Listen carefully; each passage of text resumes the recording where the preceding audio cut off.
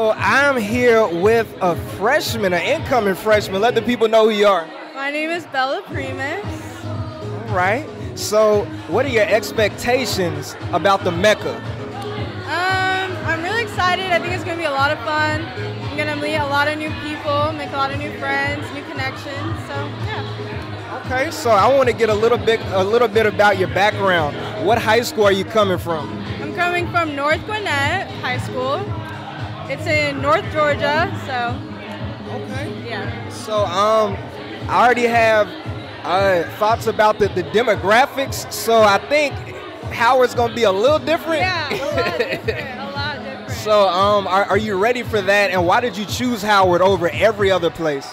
Um, yeah, I'm very ready. I chose it for the demographic. I come from a pretty, you know, not diversified school, so I wanted to try something different. And yeah. So, what are you studying? Like, what what are you? Why, why are you going to Howard?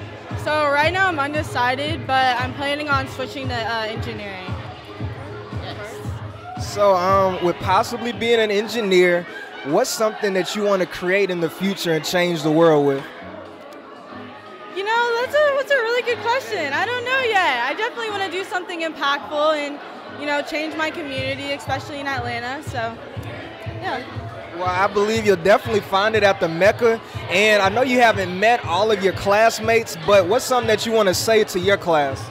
Um, I'm really excited to meet you guys. I hope you have a lot of fun, do a lot of great things. So you heard that from Bella, a very promising future. Definitely is gonna continue to make her mark on Howard, the real and only HU, right? So with that said, congrats hopefully on a great first year and check up on Bella, see how she's doing at Bison Fest 2024 at Georgia Tech. You don't want to miss it. Get those tickets. It's on Eventbrite. Come on out, support Howard, the real HU. Don't you know?